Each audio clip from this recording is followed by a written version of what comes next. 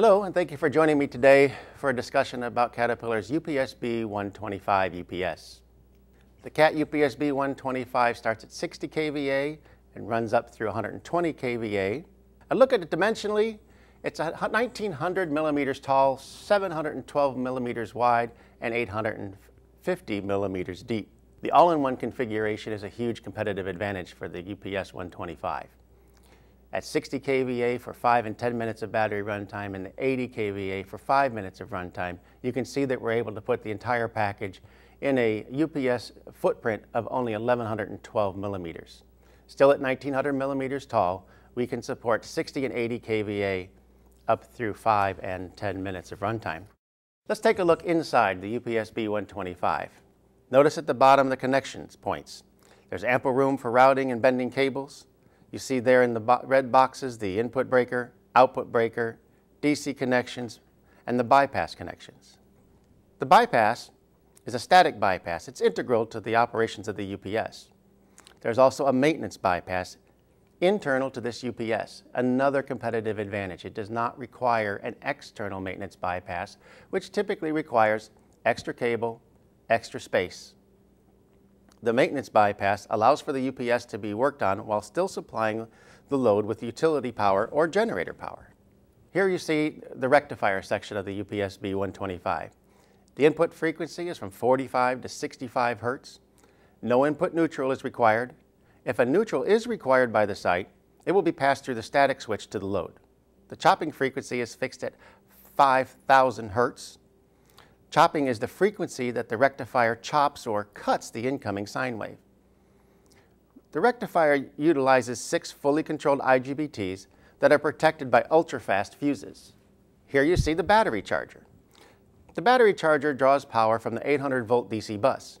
Depending on the rating of the UPS, the charger will deliver between 18 and 50 amps for the purposes of battery charging.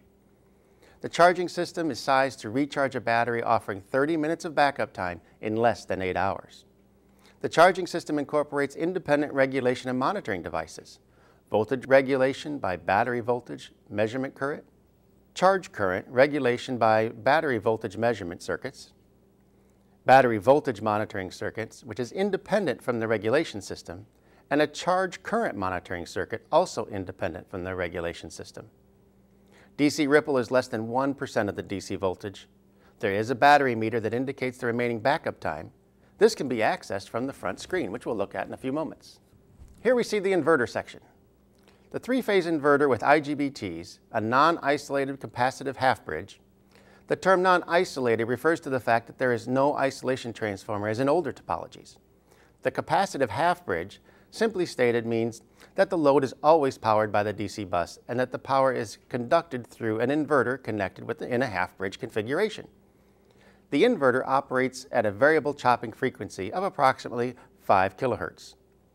During steady state, the output voltage will be held to within plus or minus 1 of the RMS values of the phase-to-phase -phase voltage. During an overload situation, the load is immediately transferred to bypass, assuming, of course, the bypass is within tolerance. During a transient event from the load, the UPS will handle 100% step loads with no more than 2% voltage change in RMS values phase to phase. Transient response to within 1% plus or minus range of the RMS value is less than 100 milliseconds. Let's talk for a minute about communications. We talked about the, the HMI or human interface screen on the front of the UPS. The UPS can communicate in 18 different languages. It stores 2,500 time-stamped events allows the operator to view statistical information about the UPS and its operation from the front screen. Communication interfaces include Modbus, RS-232, or RS-485 using the JBus protocol, and SNMP. Let's talk batteries and battery cabinets. We, Caterpillar offers both adjacent and remote battery cabinets. The adjacent battery cabinet provides a matching battery cabinet loaded with VRLA batteries for installation adjacent to the UPS. Connection cables to the UPS are provided with the adjacent, but not with the remote for obvious reasons. There's no way for us to predict how far the remote battery cabinet will be from the UPS. Each battery cabinet is provided with a battery disconnect breaker sized for the batteries provided. Battery disconnect options. For customers that choose to provide their own batteries, a battery disconnect becomes a mandatory option. UPSs must have a way to disconnect from its battery source under certain conditions. Let's talk for a moment about input options. The drawing on the left shows a one line of a dual input system, which is standard. The single input configuration is depicted by the use of that dashed blue line. The image on the right shows the input connections of a dual input system. You see number 16 is Q1 or normal input, number 15 is Q3BP or the bypass input, and number 14 is Q5N or the output. A single input system would only have cables connected to number 15 and internally jumpered to the correct inputs. One significant difference is that KA1 and KA2 are optional in the CAT UPS B125. You find this listed as backfeed protection. This pair of contactors provides isolation of the UPS from its utility source during discharge and often required by local code. Let's take a look at the maintenance bypass. Shown here in red is an advantage for the CAT UPS. As we discussed earlier, this allows the unit to be serviced without interruption to the load. Of course, as always, we recommend having the system on genset power prior to doing any service to assure continuous power while servicing the UPS. Coordinated service calls is yet another good reason for purchasing the entire system from Caterpillar. A top cable entry is also available from Caterpillar. Notice in the photo on the left, the additional chimney, which only adds 140 millimeters. The terminal block strip in the picture on the right, all connections except the battery are, are able to be dropped right here to this terminal strip. The alarm relay card option is one of the optional communication devices for the UPS B125.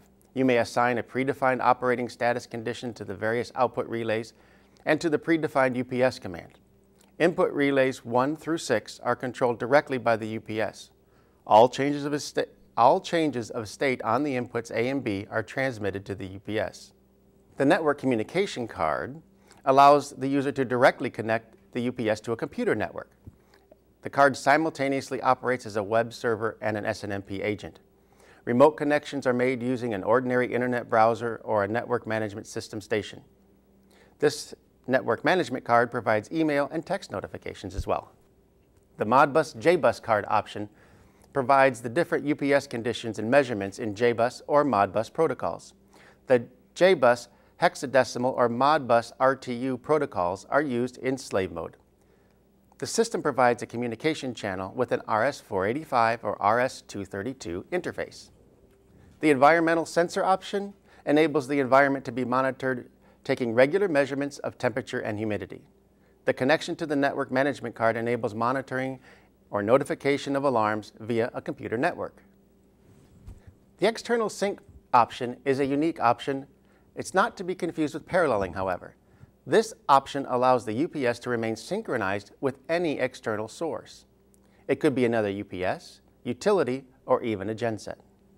The UPS B125 is well organized, easy to maintain, energy efficient, with plenty of customizable communications. Thank you for allowing me to go through the UPS B125. We think it's a wonderful product. We know you'll enjoy it. Thank you and have a great day.